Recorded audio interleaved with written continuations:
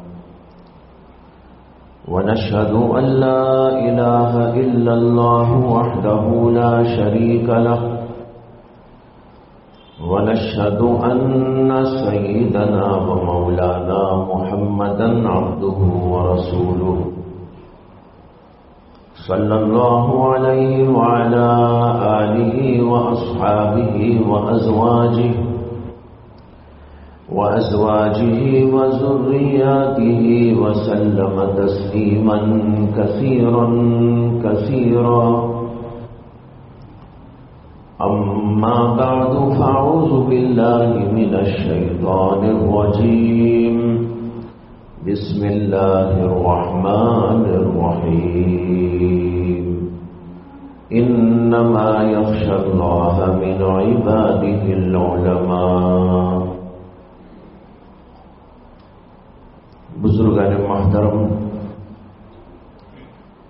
गुज्त मजलिस के अंदर इसी आयती करीमा को आपके सामने मैंने पेश किया था,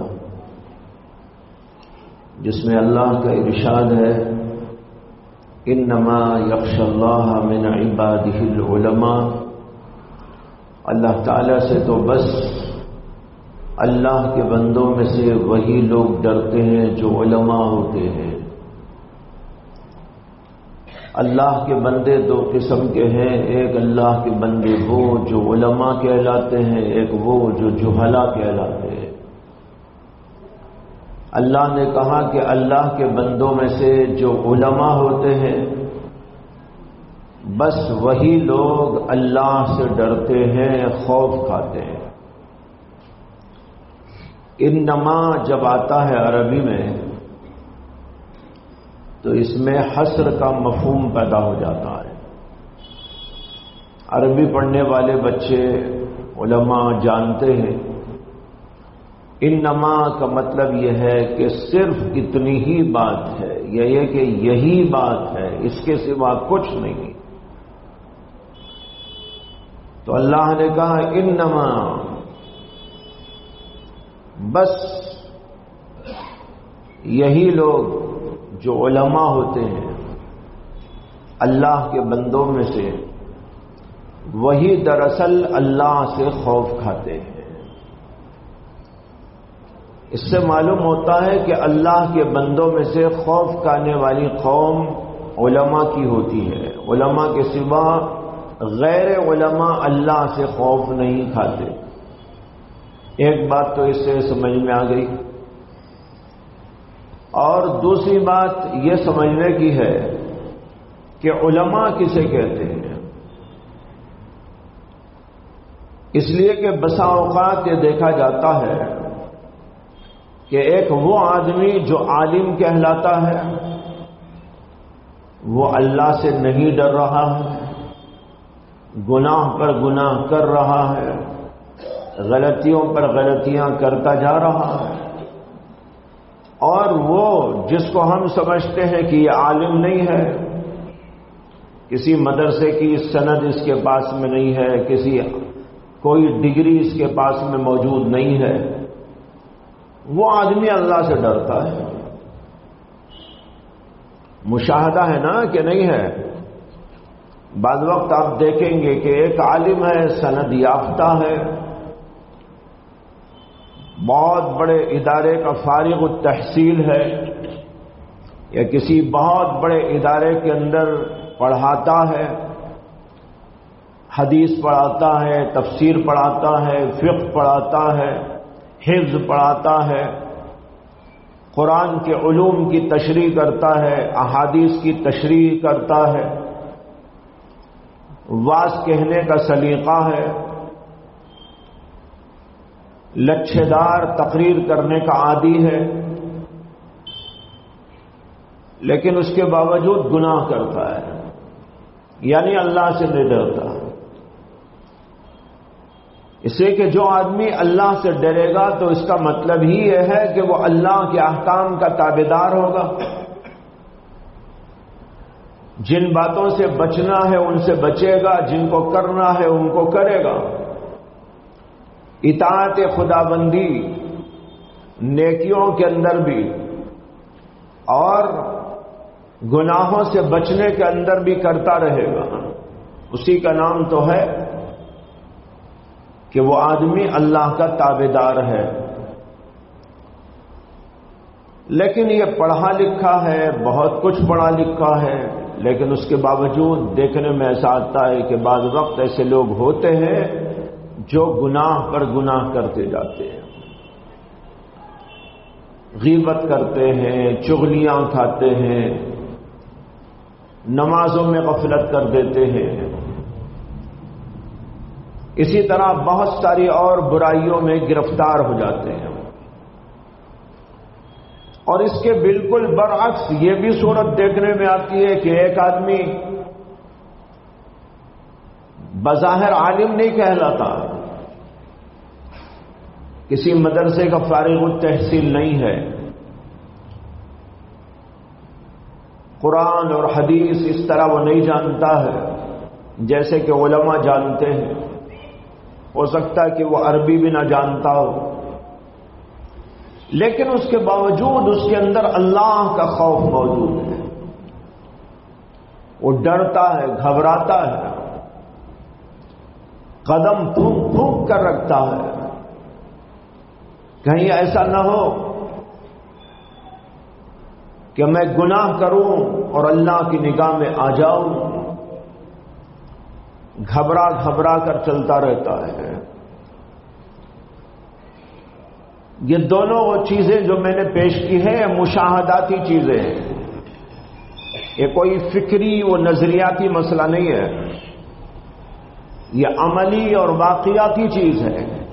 दुनिया में आपको ऐसा दिखाई देगा, मुशाहदा होगा। अमलन आप ऐसा देख सकेंगे। तो अब यहाँ सवाल यह पैदा होता है कि अल्लाह ताला ने तो कहा इन नमा यक्षल्लाह मिन इबादिल उलमा। अल्लाह के बंदों में से, अल्लाह से सिर्फ़ वही लोग डरते हैं जो उलमा होते हैं। लेकिन अब यहाँ हम ये देख रहे हैं कि भाई ओलमा भी हैं और डरते भी नहीं है। और ये भी देखते हैं कि ओलमा नहीं है और डरते हैं। तो आखिर कुरान करीम की आयत का मफहम क्या है? यही बात दरअसल आप आज सुनाना है और समझना है। देखो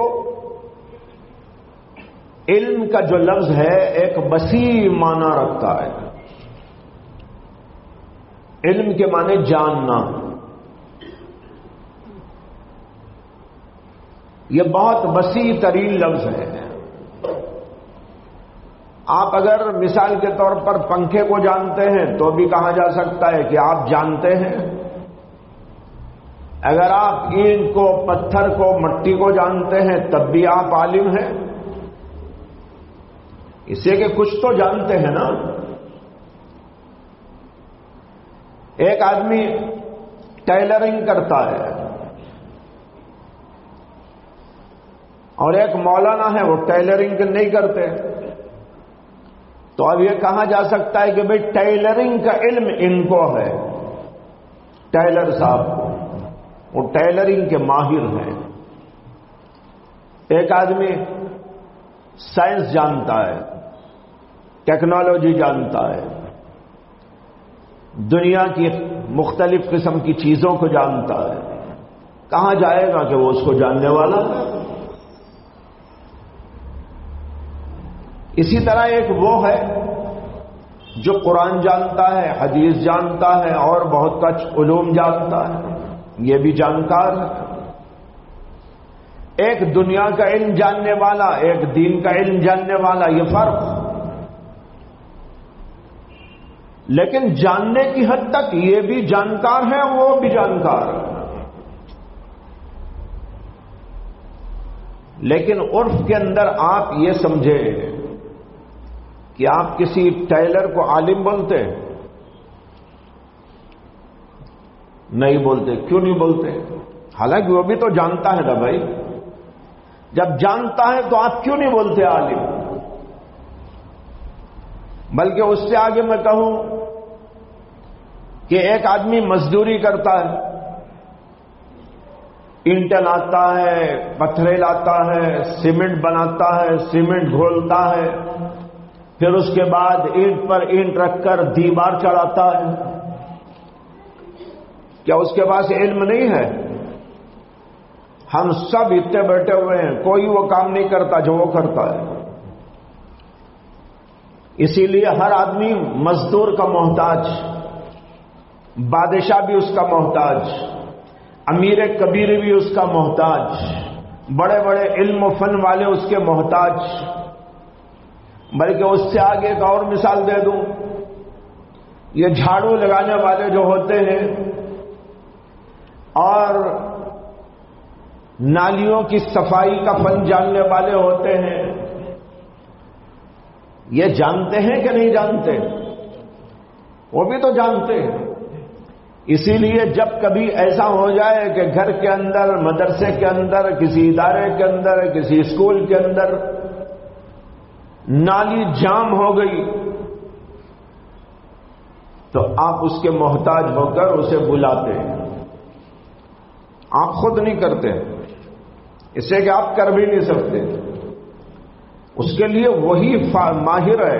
वो आएगा और कुछ करेगा और उसके बाद सफ़ाई करेगा। तो मालूम हुआ कि उसके पास भी एक इल्म है। तो अब देखिए कई मिसालें हैं। मैंने कहा था, इल्म एक वसी लफ्ज है।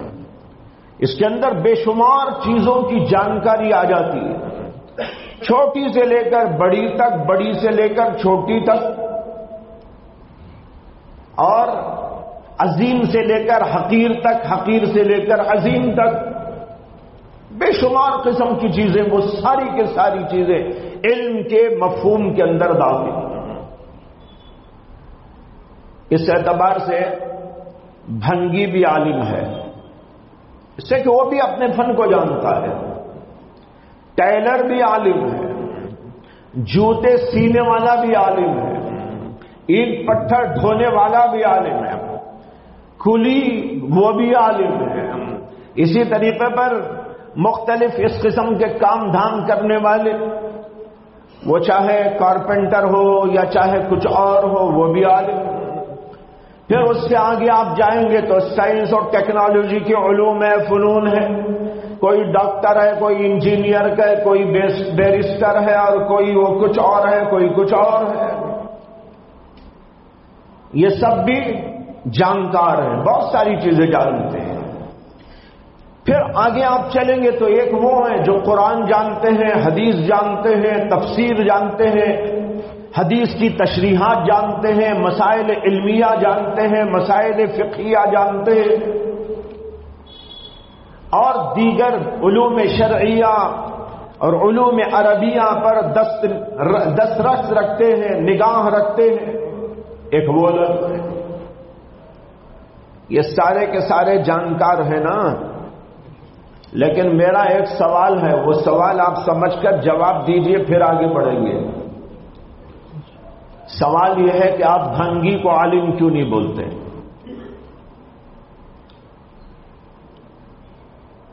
क्यों? वो भी जानता है। आप टेलर को आलिम क्यों नहीं बोलते? कारपेंटर को आलिम क्यों नहीं बोलते? दीवार बनाने वाला, इमारत बनाने वाला, उसे आप आलिम क्यों नहीं बोलते इसी तरीके पर बेशुमार और किस्म की चीज़ें हैं, उसे आप आलिम क्यों नहीं बोलते यह सवाल है। सवाल को जहन में रखकर आगे बढ़िए। फिर डॉक्टर है, इंजीनियर है, प्रोफेसर है, बैरिस्टर है, और ये है, और वो उसे भी आमतौर पर आलिम नहीं बोलते। चाहे आप डॉक्टर बोल लीजिए, चाहे आप उसे इंजीनियर बोल लीजिए, चाहे आप उसे प्रोफेसर बोल लीजिए, लेक्चरर बोल लीजिए, या और कुछ नाम के साथ उसको याद कर लीजिए, लेकिन आलिम के लफ्ज अल इतलाक उनके लिए इस्तेमाल नहीं होता। क्यों? ये सवाल है। कई सवालात हैं। भंगी को आलिम क्यों नहीं बोलते? टेलर को आलिम क्यों नहीं बोलते? मजदूरी करने वाले को आलिम क्यों नहीं बोलते? और कारपेंटर को आलिम क्यों नहीं बोलते? घड़ी सास को आलिम क्यों नहीं बोलते? और फिर जो है, डॉक्टर को आलिम क्यों नहीं बोलते? और प्रोफेसर को आलिम क्यों नहीं बोलते? लेक्चरर को आलिम क्यों नहीं बोलते? टीचर को आलिम क्यों नहीं बोलते? इतने सारे सवालात की फहरिस्त है। इन सारे सवालात का जवाब यह है कि देखो, इल्म का माना तो जानना है और इन सब चीज़ों को इल्म कहा जा सकता है। लेकिन एक इल्म वो होता है जो सबसे आला व अरफा होता है। जब आना व अरफा चीज़ सामने होती है तो बाकी चीज़ों के लिए वो लफ्ज आमतौर पर इस्तेमाल नहीं किया जाता, बल्कि जो सबसे आला दर्जे की चीज़ होती है, उसके लिए वो लफ्ज इस्तेमाल होता है। लिहाजा ये सारे इल्म तो हैं। भंगी का इल्म भी इल्म है, टेलर का इल्म भी इल्म है, कारपेंटर का इल्म भी इल्म है, और भी मुख्तलिफ़ चीज़ों के जानने वाले का जो इल्म है, वो इल्म है। लेकिन कुरान, हदीस के मुकाबले में जब उनको देखा जाता है तो इतने मामूली और हकीर हैं कि उनके ऊपर इल्म का इतलाक अच्छा नहीं लगता। समझ में आया कि नहीं आया? यह है जवाब। इल्म तो वो भी है। बल्कि मैं उससे आगे बढ़कर यह भी कह सकता हूँ कि जानवरों को भी इल्म है, इंसानों को क्या? कुछ ना कुछ तो वो भी जानते हैं। अपने अपना काम जानते हैं, अपना अपना जो है, कुछ खाने की चीज़ें, पीने की चीज़ें, कहाँ जाना, कहाँ रहना, कैसा रहना, क्या करना, वो भी जानते हैं। बाज ऐसे जानवर हैं जो अपना अच्छा सा घर बनाते हैं। कहते हैं कि भैया नाम का जो परिंदा है, वो तो हमारे भैया से भी अच्छा घर बना लेता है। भैया नाम का जो परिंदा है, वो हमारे भैया से भी ज़्यादा अच्छा मकान बना लेता है। आलिशान घोंसला बनाता है और आलिशान घोंसले के अंदर जो है कमरे भी होते हैं और उनके अंदर जो है मुख्तलिफ़ जरूरियात की चीज़ों को वो रखता है और फिर सब कुछ बनाने के बाद जुगनू को पकड़ के लाकर कहीं अटका देता है ताकि लाइटिंग भी होती रहे। जुगनों में लाइटिंग होती रहती है ना, कुदरती। वो कुदरती लाइटिंग का इंतज़ाम यूँ कर देता है और उसका मकान जो है, जगमगाता रहता है। और उसके ऊपर बारिश हो जाए और कुछ हो जाए, तब भी नहीं टूटता। ऐसा आलिशान बनाता है। ये देखिए मक्खियाँ, यानी शहद की मक्खियाँ, अपना घर कैसा आलिशान बनाती है और उसके अंदर कैसे खाने बनाती है। और फिर उनके अंदर कैसी अल्लाह ने हिस्स और कैसा मादा रखा है कि वो जाती हैं और मुख्तलिफ़ किस्म के फलों और मुख्तलिफ़ किस्म के दरख्तों से चूस चूस कर रस को लाती हैं और लाकर उसके अंदर डालती हैं और फिर अल्लाह उसे शहद में तब्दील कर देता है। मुख्तलिफ़ किस्म के मुख्तलिफ़ रंगतों के शहद तैयार होते हैं और उनका एक अजीब सिस्टम भी है कि वहाँ मक्खी बाहर जाने के बाद अंदर जाना चाहे तो वहाँ पर सिस्टम मौजूद होता है कि मक्खी का एक जो है वो उनके दरवाजे के ऊपर खड़ा हुआ होता है। जब कोई मक्खी रस चूस कर बाहर, अंदर आना चाहती है, वो उससे पूछताछ करता है, बाहर क्यों गई थी? क्यों आ रही है? जब वो मालूमात हो जाती है तो फिर उसके बाद उससे पूछा जाता है कि क्या लेकर आई फुला जगह से, फुला चीज़ का, फुला दरख्त का, या फुला पत्तों का, या फुला फूल का मैंने रस लाया है। तो फिर उसको देखा जाता है डॉक्टर भी उनमें होता है, वो डॉक्टर उनको टेस्ट करता है देखता है कि वाकई ये जो रस लाई है, ये रस बिल्कुल मुनासिब है। शहद के लायक है, इंसानों की ज़रूरत पूरा करने वाला है, या ये कि किसी ऐसे दरख्त का या ऐसे फूल पत्तों का लेके आई है, जो इंसानों के लिए मुजिर है और नुकसानदेह है, वहाँ टेस्टिंग होती है। अगर खुदा न खास्ता किसी गलत किस्म के दरख्त का, दरख्त किस्म जो है गलत किस्म के फूलों का रस उसने चूस के लाया हो, वहीं पर दूसरा एक, दूसरी और एक मक्खी होती है। जो उसको मार देती है, अंदर जाने की इजाज़त नहीं। अच्छे दरख्त का, अच्छे फलों का, फूलों का लाई हो उसे अंदर इजाज़त होती है। वो अंदर जाने के बाद उसको उगल देती है। और फिर उसका जो ढांचा बनता है, कैसा मज़बूत बनाकर उसके अंदर वो जमाती है, ये देखिए, सब अल्लाह ने उनको इल्म दिया है कि नहीं दिया है? ये भी इल्म है। इस एतबार से मक्खी भी आलिम और फाजिल है। आलिम फाजिल है, लेकिन उसे आप आलिम नहीं बोलते, उसे आप फाजिल नहीं बोलते। तो भाई कई मिसालें हैं। अब सोचते आप जाएँ, मैंने तो दो चार पाँच छह मिसालें आपके सामने रख दी हैं। अब आप गौर करते जाएँ तो माशाल्लाह एक ज़बरदस्त आपके सामने लंबा चौड़ा एक किस्सा निकल आएगा। कि उलूम का समंदर है, जानवरों में भी है, दरिंदों में भी है, परिंदों में भी है। परिंदे वो जानते हैं, जो आप नहीं जानते, वो उड़ उड़ के जाते हैं। कैसा उड़ते हैं? कोई इंसान नहीं उड़ सकता। जरा उनके उड़ने को देख लीजिए। अल्लाह ने कैसी ताकत और कैसी कुदरत और कैसी सलाहियत उनको अता फरमाई है। बास परिंदे ऐसे हैं जो सिर्फ़ उड़ उड़ कर एक मुल्क से दूसरे मुल्क और दूसरे मुल्क से तीसरे मुल्क को चले जाते और गर्मी और सर्दी और मुख्तलिफ़ किस्म के मवासिम आते हैं तो उन परिंदों का काम यह होता है कि एक इलाके से अपना जो है मस्कन बदलती है और दूसरे इलाके में जाकर अपना मस्कन बनाती है। ऑस्ट्रेलिया से आई, यहाँ इंडिया के अंदर।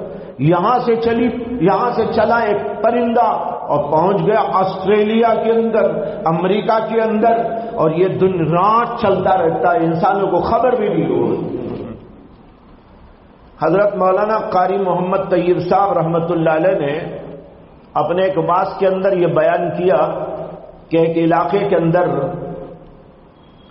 बहुत बंदर थे। हमारे मसीहुल में भी बहुत बंदर हैं। कभी आइए, अगर किसी ने बंदर को न देखा हो तो हम उसे बंदर दिखाएँगे। बंदर जानते हैं आप, डार्विन के नज़रिए के मुताबिक इंसान की असल। डार्विन कहता था कि इंसान पहले बंदर ही था, बंदर से तरक्की कर कर के इंसान बन गया। पहले इंसान बंदर ही था। और वो कैसा, क्यों नज़रिया कायम किया, वो एक मुस्तकिल दास्तान है। उसने उसे एक साइंसी नज़रिया बनाया।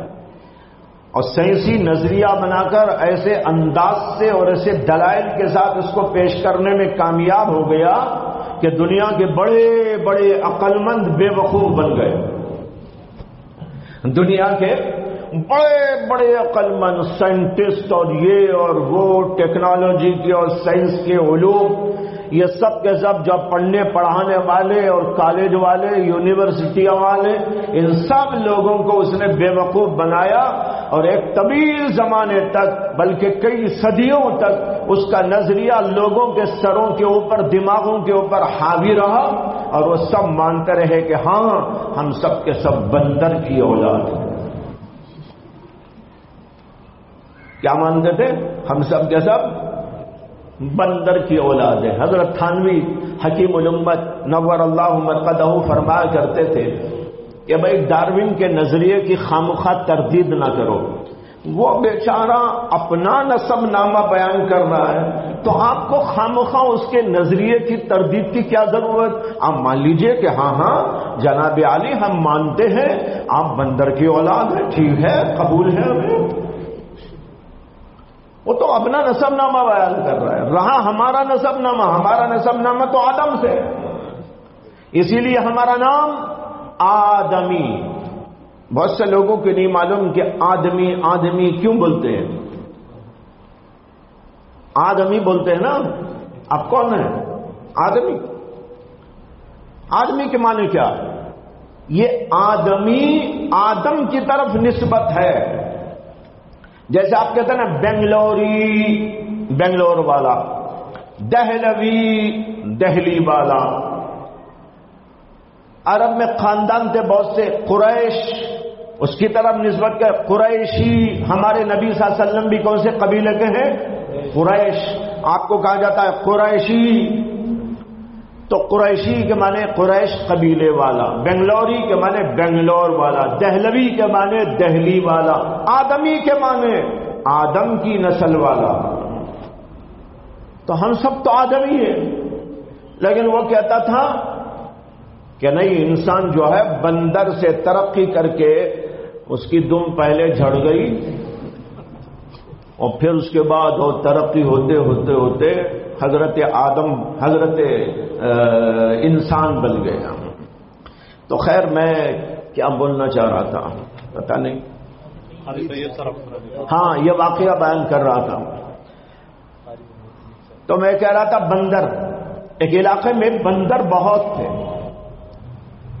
लोगों को बहुत परेशान करते थे। तो वहाँ के लोगों ने यह सोचा कि बंदर बहुत परेशान करते हैं।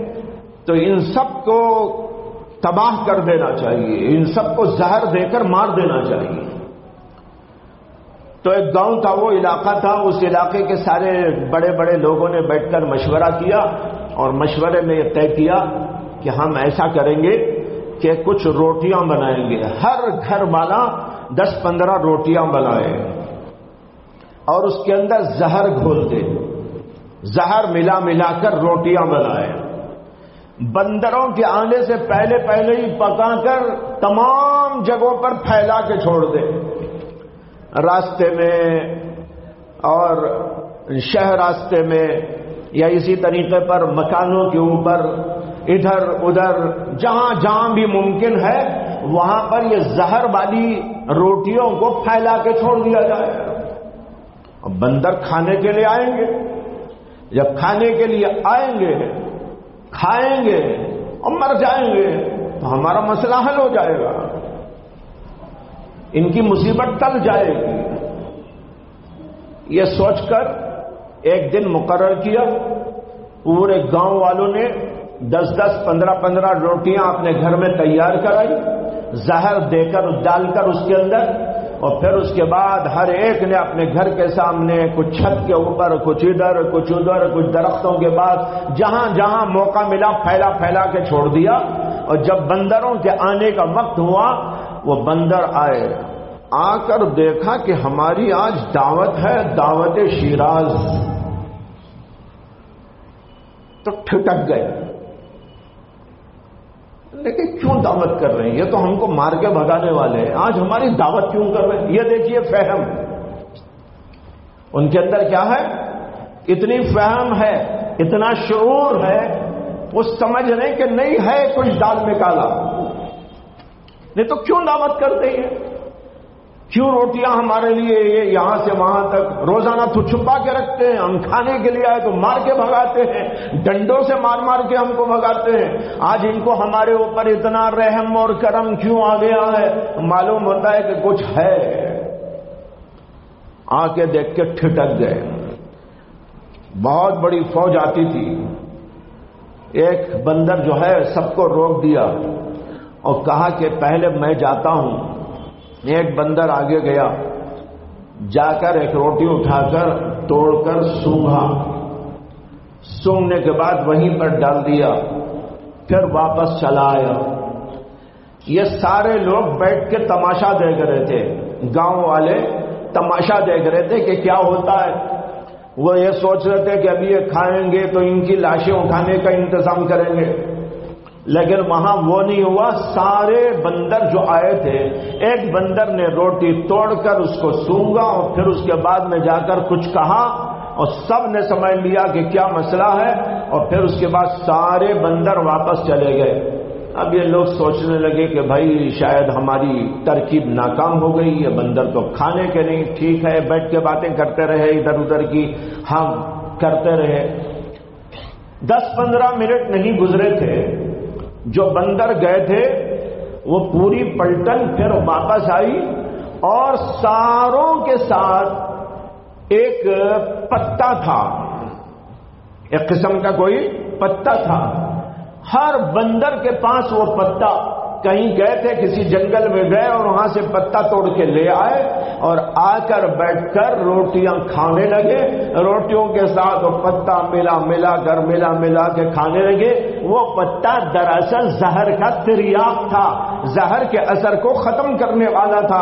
रोटियों की रोटियाँ खाई ज़बरदस्त तरीके पर और फिर उसके साथ उसका इलाज भी कर लिया और सब के सब दन दनाते चले गए और गाँव के गाँव के पूरे अकलमंद लोग बेवकूफ़ बन के देखते रहे। भाइयों, बुज़ुर्गों, ये वाकया क्या बता रहा है? मैं पेश कर रहा हूँ। लफ्ज इल्म है ना, ये बहुत वसी लफ्ज है। क्या आप इन बंदरों को डॉक्टर नहीं कह सकते? डॉक्टर क्या वही है जो हॉस्पिटल में, क्लिनिक में बैठा हुआ है? ये देखिए, बंदरों की डॉक्टरी और फनकारी इसी तरीके पर और जानवरों के अंदर भी अल्लाह ने अजीब अजीब खसूसियात और अजीब अजीब कमालात रखे हुए हैं। जिसकी दो चार मिसालें मैंने दे दी। लेकिन इन सारी चीज़ों के बावजूद यह हकीकत है और बिल्कुल हक भी है, हकीकत भी है और हक भी है कि इन सब चीज़ों का नाम इल्म नहीं है। आप आलिम कहते हैं तो उसको कहते हैं जो कुरान जानता है, जो हदीस पाक जानता है। जो अल्लाह के नबी को जानता है, जो अल्लाह को जानता है, जो अल्लाह की सिफात को जानता है, जो अल्लाह की मारिफत रखने वाला होता है, जो कुरान और हदीस के उलूम के ऊपर गहरी नज़र रखने वाला होता है, ऐसे को आप आलिम कहते हैं और बाकी इन सबको आप आलिम नहीं कहते। और पहले की बात याद आई मुझे।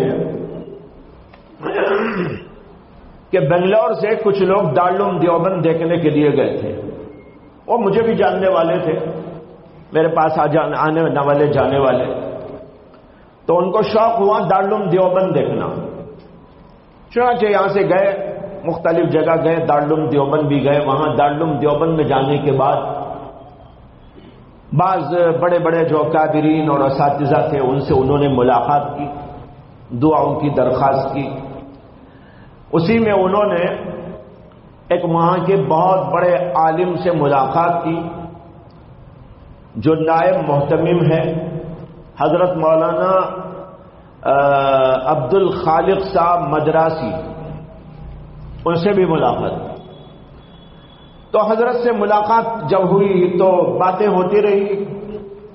तो उन बातों में हज़रत ने यह फरमाया इल्म उसी को कहते हैं जो कुरान और हदीस में पढ़ाया जाता है, बाकी ये प्रोफेसर, ये लेक्चरर, ये ये और वो, ये सब के सब जो हैं, इनका इसका ये इल्म नहीं कहते इसको। उन्होंने बात बात में कुछ कहते हुए ये जुमले इस्तेमाल फरमाए। ये जो गए थे ना, ये सारे, उसमें कोई डॉक्टर साहब भी थे, कोई इंजीनियर साहब भी थे और कुछ प्रोफेसर साहब भी थे, कोई एडवोकेट साहब भी थे। ऐसी टीम थी ये जो जाने वाली। तो हज़रत ने बात में कुछ कहते कहते ये बातें भी फरमाई कि भाई इल्म जिसको कहते हैं वो तो वो है जो कुरान और हदीस के अंदर आ बाकी जितना भी है उसका नाम इल्म नहीं है। खैर, वो लोग उनसे कुछ बोले नहीं, ना कुछ पूछे। वो वापस यहाँ आ गए और चूँकि मेरे से उनका ताल्लुक था आना जाना था तो मेरे पास भी आए। आने के बाद उन्होंने किस्सा सुनाया। और सुनाकर कहा कि यह बात मौलाना की हमारी समझ में ही नहीं आई। मौलाना कह रहे हैं कि ये सब इल्म नहीं, क्या डॉक्टर, ये ये इल्म नहीं है क्या? ये लेक्चरर बनना है क्या? इल्म नहीं है क्या? ये प्रोफेसर बनना ये इल्म नहीं है क्या? ये जो है, मुख्तलिफ़ उलूम, फनून, ये इल्म नहीं है क्या? ये मौलाना जो बात कही है, हमारे तो हजम नहीं हुई है बात। तो मैंने उन लोगों से उस वक्त मैं यही बात कही जो इस वक्त आप लोगों के सामने मैंने अर्ज़ की। मैंने कहा, देखो भाई, इल्म का लफ्ज तो बहुत वसी है। लेकिन आप भी बात चीज़ों को इल्म बोलने में शर्माते हैं। मैंने यही मिसाल दी कि आपको मकान बनाने की ज़रूरत पड़ गई तो आपने एक आदमी को मजदूरी के लिए बुलाया, ईट पत्थर रखकर उसने इमारत बना दी। आप तो नहीं बना सकते, वो बनाता है। ये इल्म है या नहीं है? चल लगे है। लेकिन आप क्या उसे आलिम कहते हैं? फिर मैंने ऐसे ही ये सब मिसालें जो अभी आपको दी, इस किस्म से दो चार मिसालें उनको मैंने दी। मैंने भंगन की मिसाल भी दी उनको। ये भंगी जो जानता है, वो तो आप नहीं जानते।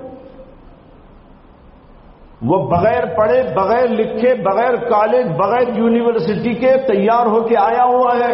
और आप लोग यूनिवर्सिटियों में और बड़े बड़े इदारों में दानिशगाहों में जाने के बावजूद वो काम नहीं कर सकते जो भंगी कर सकता है। उसके पास भी एक इल्म मौजूद। टेलरिंग भी एक इल्म है कारपेंटरी भी एक इल्म है, ये सब का सब भी एक इल्म है। लेकिन मैं आपसे पूछता हूँ कि आप इन चीज़ों का नाम इल्म रखते हैं? आप किसी कारपेंटर को जो है प्रोफेसर की तरह आलिम, या डॉक्टर की तरह मानते हैं। कहने के नहीं ऐसा तो नहीं मानते। मैंने कहा, जैसे आप अपने इल्म के मुकाबले में भंगी के इल्म को इल्म नहीं समझते, हालाँकि वो इल्म है, और टेलरिंग टेलरिंग के इल्म को इल्म नहीं समझते, हालाँकि वो भी इल्म है कारपेंटरी के इल्म को इल्म नहीं समझते, हालाँकि वो भी इल्म मौजूद है, बिल्कुल इसी तरीके पर समझो कि कुरान हदीस के मुकाबले में जो और उलूम है, वो अपनी जगह इल्म होने के बावजूद भी इतलाक उनके ऊपर इल्म का नहीं हुआ। माशाला सब समझदार थे, समझ गए कहने लगे हाँ अब समझ में आया वाकई एक हकीर और मामूली चीज़ को एक आला के मुकाबले में जब रखा जाएगा तो उसकी कोई हैसियत नहीं हुआ करती। वाकई कुरान और हदीस के उलूम के मुकाबले में दुनिया की तालीम को, दुनिया के उलूम को, दुनिया के फलूम को, चाहे वो कितना भी ज़्यादा अपनी जगह पर अहमियत रखता हो, ज़रूरत का इल्म हो, लेकिन उसके ऊपर इल्म का इतलाक नहीं होता। इल्म का इतलाक होता है तो किस पर होता है? कुरान हदीस के उलूम पर होता है। इतनी बात तो मैंने उस वक्त उनको समझा दी, लेकिन यहाँ मुझे उससे भी अगली एक बात समझाना है। जैसे आपने ये देख लिया, इन मिसालों के ज़रिए एक मामूली इल्म को, इल्म होने के बावजूद आला इल्म के मुकाबले में इल्म शुमार नहीं किया जाता। भंगी के इल्म को, डॉक्टर के इल्म के सामने इल्म नहीं शुमार किया जाता। उसका वो दर्जा, वो मकाम नहीं दिया जाता। प्रोफेसर वो लेक्चरर का जो इल्म है, उसके मुकाबले में टाइलर के इल्म को इल्म नहीं कहा जाता, कारपेंटर के इल्म को इल्म नहीं कहा जाता। और उनके साथ वो रवैया और बर्ताव और उनका वो मकाम और मरतबा नहीं समझा जाता। इसलिए कि वो हकीर है इन उलूम के मुकाबले में। तो इसी तरीके पर कुरानो हदीस का इल्म। आना व अरफा होने की वजह से उसके मुकाबले में ये दीगर उलूम उलूम कहलाने के मुस्तक नहीं हुआ करते। अब अगला नुकता ये समझने की कोशिश कीजिए, एक है अहकाम इलाही का इल्म जानने वाला, एक वो है जो खुद अल्लाह को और अल्लाह की सिफात को जानने वाला। समझ में आ रही है बात? ये क्या है? अहकाम इलाही जानने वाला। और कुरान की शक्ल में, हदीस की शक्ल में फिक की शक्ल में और मुख्तलिफ़ किताबों को पढ़ पढ़ कर। जो मदारिस के अंदर पढ़ाया जाता वो यही। कुरान पढ़ाया जाता है, हदीस पढ़ाई जाती है और उसकी तशरीहत की जाती है, तफसीर का इल्म पढ़ाया जाता है, अहकाम का इल्म दिया जाता है। ये बहुत बड़ा इल्म है। दुनिया के उलूम के मुकाबले में वाकई यही इल्म कहलाने के लायक है। लेकिन मैं उससे अगली बात कह रहा हूँ, एक वो है जो अहकाम इलाही को जानने वाला आलिम फ़राइज इलाही को जानने वाला आलिम और अल्लाह के कलीमात की तशरीह का जानने वाला आलिम, नबी अकरम की सीरत और आपकी सुन्नत और आपके अहवाल और आपके अतबार को जानने वाला आलिम, एक वो है जो खुद खुदा को जानने वाला आलिम। इसको कहते हैं आरिफ बिल्ला तो एक है अहकाम इलाही को जानने वाला और एक है खुद अल्लाह को जानने वाला। जब इन दोनों का मुकाबला होता है ना, यहाँ भी वही बात है। ऊपर वाले इनके मुकाबले में यह कुछ नहीं। जैसे मैंने वो नीचे से मिसालें दी आपको ताकि कहीं कंफ्यूजन ना हो जाए। और इसलिए वजाहत दर वजाहत वजाहत दर वजाहत कर दी, ताकि किसी किस्म की गलत फहमी ना रहे। तो छोटे इल्म के मुकाबले में उससे बड़ा इल्म नहीं, ऊपर वाले इल्म के मुकाबले में नीचे वाला इल्म इल्म कहलाने का मुस्तक नहीं होता। उससे बड़े इल्म के मुकाबले में ये इल्म इल्म कहलाने के लायक नहीं होता। उससे ऊपर वाले इल्म के मुकाबले में, उससे नीचे वाले का इल्म इल्म कहलाने के लायक नहीं होता। इसी तरीके पर भाइयों, अल्लाह को जानना ये सबसे आला है। उसके मुकाबले में ये चीज़ें भी कमज़ोर हो जाती हैं। जब आपने इतना समझ लिया तो अब आइए कुरान की तरफ़। अल्लाह कहते हैं इनमा यक्षल्लाह मिन इबादिहिलमा अल्लाह ताला से डरने वाले अल्लाह के बंदों में से वही लोग हैं जो आलिम के कहलाते हैं। मैंने तो आपके सामने रख दिया है कि बंदर भी आलिम, भंगी भी आलिम, ये भी आलिम, टेलर भी आलिम, फुला भी आलिम बैरिस्टर भी आलिम एडवोकेट भी आलिम साइंटिस्ट भी आलिम टेक्नोलॉजी के इल्म वाला भी आलिम, फिर उसके बाद और उलूम फलून। लेकिन मैंने आपको बताया कि इन सब के ऊपर इल्म का इतला इस इल्म के मुकाबले में जब आता है तो नहीं हो सकता। इसी तरीके पर यहाँ अल्लाह कहना चाहते हैं, जो मुझे जानने वाला है वही मेरे से डरता है। बाकी कुरान पढ़ ले हो सकता है कि ना जानता हो मुझको और मेरे से न डरे। आई बात समझ में? एक है, अल्लाह को जानने वाला। अहकाम खुदा पढ़कर पढ़कर अल्लाह तक पहुँच गया। कुरान पढ़कर अल्लाह तक पहुँच गया। अल्लाह की सिफात को जानने लगा। अल्लाह की मारिफत हासिल करने लगा। अल्लाह की सिफात को जानकर, उन सिफात के आसार को अपने अंदर पैदा करने वाला बन गया। तो जो आदमी खुदा को जाने, खुदा की सिफात को जाने और खुदा की सिफात से असर कबूल कर कर उसके आसार अपने ऊपर तारी कर ले, वो यहाँ उलमा मुराद है। अल्लाह से डरने वाले उलमा ही होते हैं। यानी वो होते हैं जो अल्लाह को जानने वाले होते हैं। मालूम हुआ कि जो अल्लाह को जानने वाला होगा, वही अल्लाह से डरेगा। जो अल्लाह को नहीं जानेगा, अगरचे वह कुरान पढ़ता हो, अगरचे उसके सामने सनद मौजूद हो, उसके हाथ में डिग्री मौजूद हो, मदरसे की कायनात में रह रह कर दस साल गुजार दिए हो, वहाँ की चटाइयों को उसने घस दिया हो, लेकिन भाइयों जब तक अल्लाह की मारिफत और अल्लाह की सिफात की मारिफत से वो अपने कुलूब को आरास्ता पैरास्ता नहीं कर लेते, वो अल्लाह को डरने वाले में शामिल नहीं हो सकते। कुरान की इस्तला में इसी को आलिम कहा जाता है। कई इस्तलाहें तो मैंने बता दी ना, उनको जहन में रख लीजिए इश्काल खत्म हो जाएगा।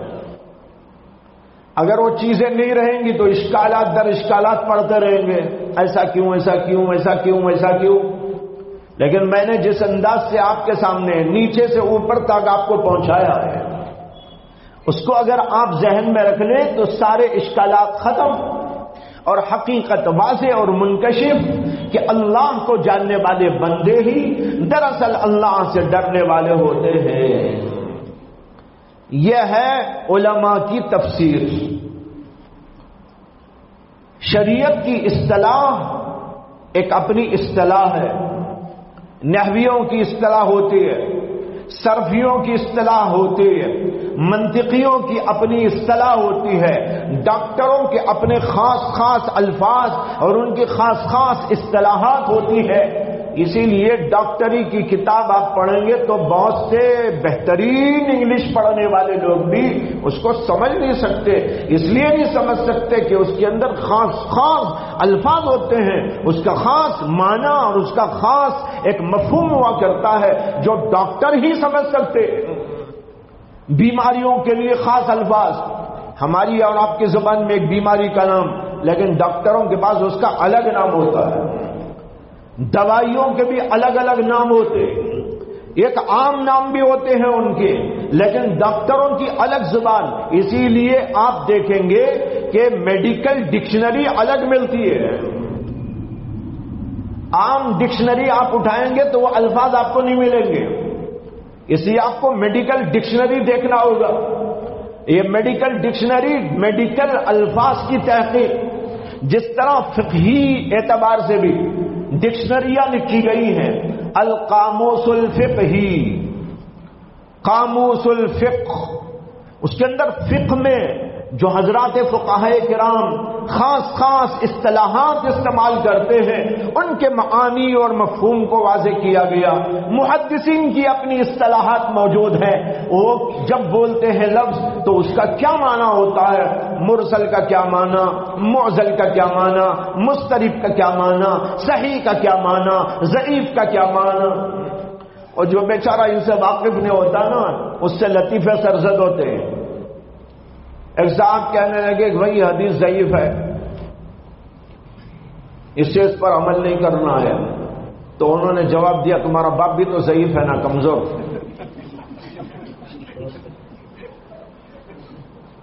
हदीस कमज़ोर हुई तो क्या है? तुम्हारा बाप भी तो कमज़ोर है।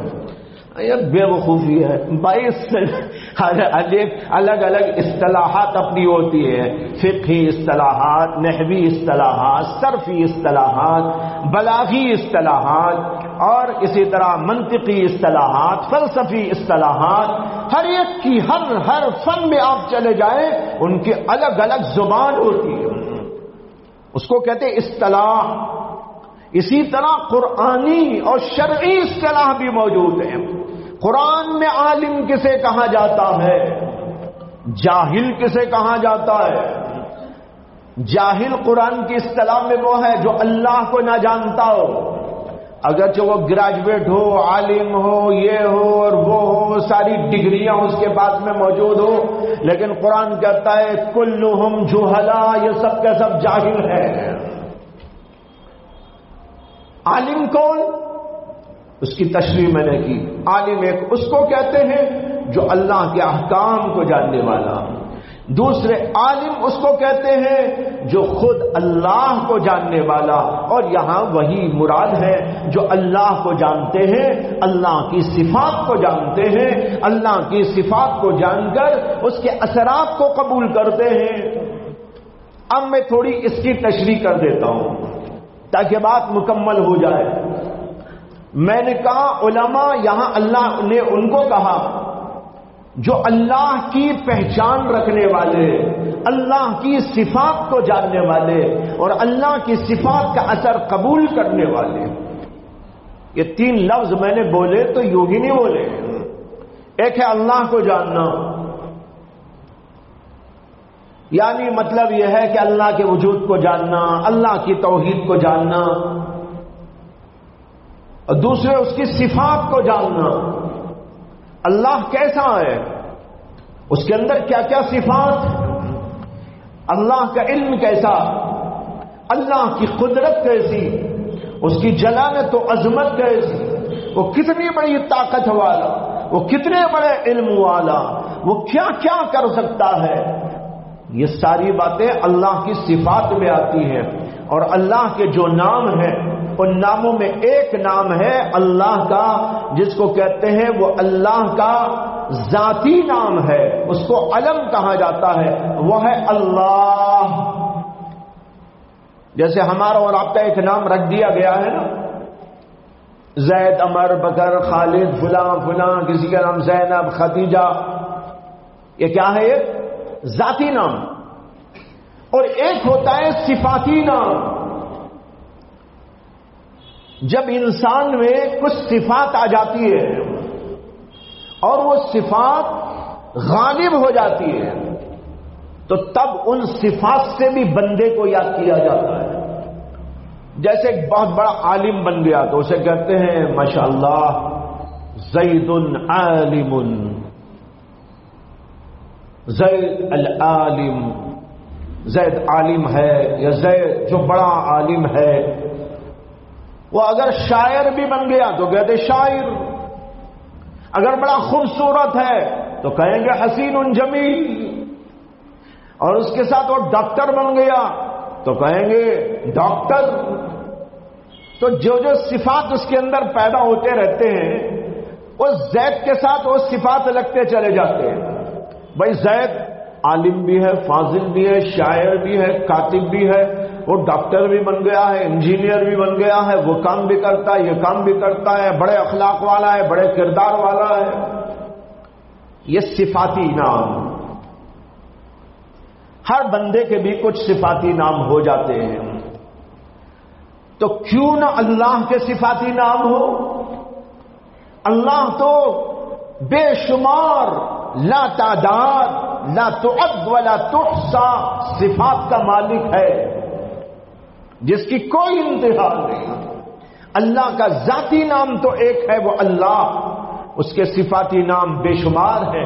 उन बेशुमार नामों में से निन्यानवे नाम आपने पढ़े होंगे अल्लाह ताला के। अल्लाह के सौ नाम है। उनमें एक अल्लाह का जाती नाम है। निन्यानवे जो और नाम है, जिसमें रज्जाक है, रहमान है, रहीम है, करीम है, अजीम है, जलील है, कदीर है जुल जलाली वल इकराम है।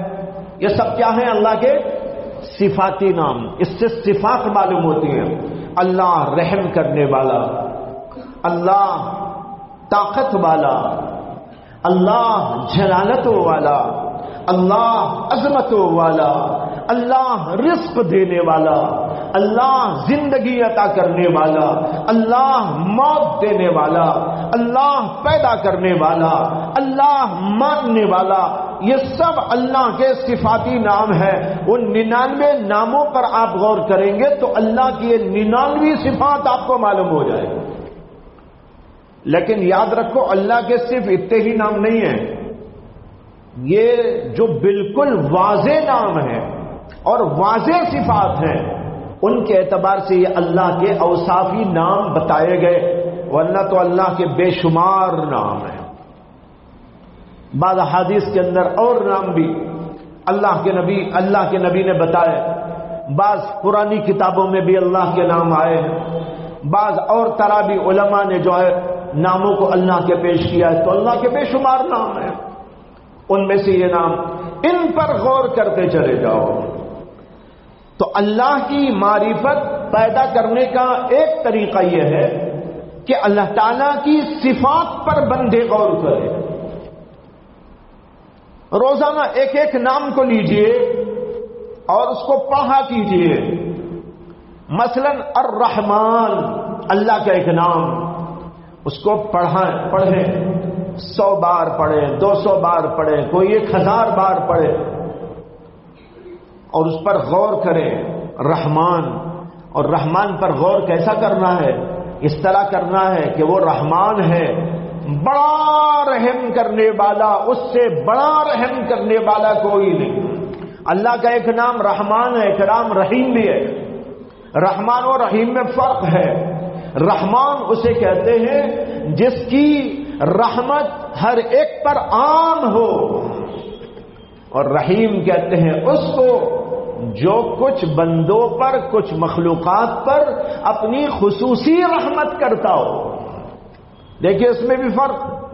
रहमान उमूमी रहमत करने वाला। काफिरों पर उसकी रहमत। मोमिनों पर उसकी रहमत, बागियों पर उसकी रहमत, आसमानों पर उसकी रहमत, ज़मीन पर उसकी रहमत, जानवरों पर उसकी रहमत, हर चीज़ पर उसकी रहमत, पूरी दुनिया के अंदर आप देखते चले जाएँ, अल्लाह की रहमत ही रहमत रहमत ही रहमत के पहलू, और उसके मुख्तलिफ़ अंदाज आपको दिखाई देते चले जाए। इसी रहमत रहमत आमा की वजह से अल्लाह काफिरों को खाना दे रहा। अगर अल्लाह की रहमत आम न होती तो किसी काफिर को एक घूंट पानी भी न देता। क्यों? इसे कि अल्लाह तो रहीम ही नहीं, रहमान है वो। सबको देता है।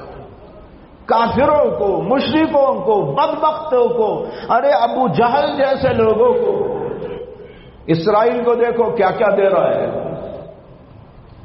ये क्यों दे रहा है? वो बड़ा रहमान है। रहम, रहमत वाला है। दे रहा है। हाँ जब पकड़ने पे आएगा तो पकड़ने पे आएगा तो वो भी है। वो भी अल्लाह की दूसरी सिफत। अल्लाह ने कुरान में कहा फलम्मा नसू मा जुक्किरू बिही फतहना अलैहिम अबवाब कुल्लि शै हत्ता इजा फरिहू बिमा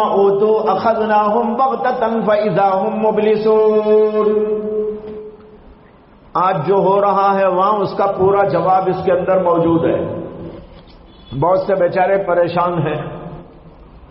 अरे भाई, जो है गजा वालों पर रहमत क्यों नहीं हो रही है?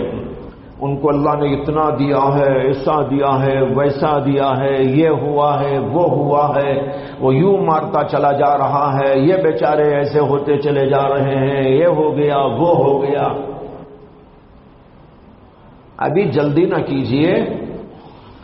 मशहूर है मकूला, अल्लाह के यहाँ देर है, अंधेर नहीं। अल्लाह के यहाँ देर है, अंधेर नहीं। अल्लाह ने उसी फलसफे को इसके अंदर बयान कर दिया है और शायद वो मकूला बनाने वालों ने इसी का खुलासा बयान कर दिया हो। पहले लगो, पहले जमाने के जो बुजुर्गान गुजरे हैं उन्होंने कुरान और हदीस का निचोड़ छोटे छोटे अल्फाज में बयान कर दिया है। अल्लाह ताला कह रहे हैं फलम मा नसू मा जुक्किरू बिही। जब उन्होंने भुला दिया, उन्होंने गफलत की वजह से छोड़ दिया। क्या छोड़ दिया? मा जुक्किरू बिही, जो अंबिया के ज़रिए उनको सिखाया गया था, बताया गया था, तालीम दी गई थी, नसीहतें की गई थी। माजुक्की रोबी पैगंबरों के ज़रिए से, अल्लाह की किताब के ज़रिए से, मोहम्मद वसल्लम के ज़रिए से, और उससे पहले के पैगंबरों के ज़रिए से इन लोगों को जो सिखाना था, जो बताना था, जो तालीम देना था, जो नसीहतें करना था, जो इबरतें देना था, वो सब कुछ दिया। लेकिन इन्होंने फलम मानसू माजुक की रूब ही भुला दिया उन चीज़ों को, छोड़ दिया उन नसीहतों को, खत्म कर दिया उन तालीमात को। तो क्या हुआ? शायद आप इस इंतज़ार में होंगे कि अल्लाह कहेंगे, हमने उनको मल्यामेट कर दिया। नहीं, खूब जरा गौर से सुन लो, कान खोल कर सुन लो। अल्लाह कह रहे हैं, फलम्मा नसूमा जुक्किरू बिही, फतहना अलैहिम अबवा बकुल्ली शई उनकी इस गलत हरकत पर, उनकी इस गफलत पर, उनके इस एराज पर, उनके इस गुनाह कबीरा पर, बल्कि उनके इस कुफ्र पर फतहना अलहिम अबवा बकुल्ली शई। तो हमने इनके ऊपर हर चीज़ के दरवाजे खोल दिए। लो भाई, खाओ। अभी बंदरों का किस्सा आपको सुनाया गया था ना? दावत शिराज का। वही दावत शिराज वहाँ भी है। लो, खाओ। रोटियाँ दे दी गई है खाने के लिए। लोग नहीं समझ रहे। अल्लाह ने इनको, इन बंदरों को भी रोटियाँ दे दी हैं, खाओ। तो कहते हैं, फतहना अलई में अबा बकुल्लिश है हमने हर चीज़ के दहाने खोल दिए। माल है, दौलत है, आसाइश है, असबाब है, हथियार है, ताकतें हैं, जाहिरी तौर पर सब।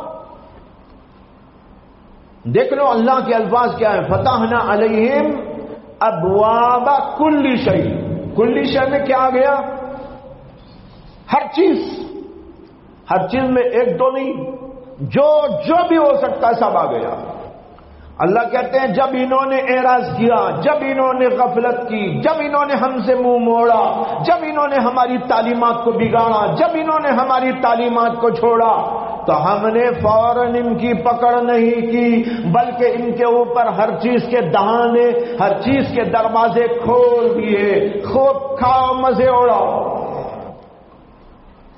फतह न अलहिम अबुआ बकुल शही हत्ता इजा फरीहू बीमा ऊतू। यहाँ तक कि जब ये इतराने लगे, क्या करने लगे? फरी हो, खुश हो गए। इतराने लगे, गुरूर में आ गए तकबर में आ गए। क्या ताकत है हमारी? हम किसी को भी उजाड़ सकते हैं, हम किसी को भी कुछ कर सकते हैं, हम ऐसा और ऐसा कर सकते हैं। हमारा कौन मुकाबला कर सकता है? ये छोटे मोटे पत्थर भी ईंटें लेकर हमारा क्या मुकाबला करे? हमारी एक एक चीज़ से हम इनको तबाह कर सकते हैं। हत्ता फरीहू बीमा ओतू जब ये होगा, अल्लाह कहते अखजला हम बगता। अचानक हम उनकी पकड़ करते हैं। तब तक तो ये होना ही है ना। अल्लाह जब कह रहे हैं तो नहीं होना चाहिए। होना चाहिए। ये तो होगा। अल्लाह ने फिरौन को कितने साल हुकूमत दी, कितने साल दुनिया के अंदर ऐसो आसाइश के लिए छोड़ा। चार सौ बरस। फिर को चार सौ बरस। इसी तरीके पर यह भी कहते हैं, चार सौ बरस में उसे सर का दर्द भी कभी नहीं आया। सेहत, तंदुरुस्ती, ऐश, इशरत, आराम, माल, दौलत, हुकूमत, ताकत हशम, खदम, सब मौजूद। दावा करता था अलई सली मुल्क मिस्र। अलई सली मुल्क मिस्र। क्या पूरा मुल्क मिस्र मेरा नहीं? वहाजी लनहर तजरी मिलताती और यहाँ जो नहरें चल रही हैं तो मेरे मातहत चल रही हैं, मेरे हुक्म पे चल रही हैं, मेरे हुक्म पर, मेरी इजाज़त पर यह सब कुछ हो रहा। यहाँ तक के बढ़ते बढ़ते तो उसने ये भी दावा कर दिया, अना रबुकुमुल आला. देखो, सब कुछ होता है दुनिया में। अल्लाह ने कुरान पेश किया है, कुरान में सारे हालात बयान किए हैं। इसलिए हालात जमाने को समझने के लिए कुरान को समझो। लोग अब कुरान को नहीं समझते। अखबार पढ़कर फैसले करते हैं। टीवियाँ देखकर फैसले करते हैं। व्हाट्सएप देखकर माशाअल्लाह सियासी बन जाते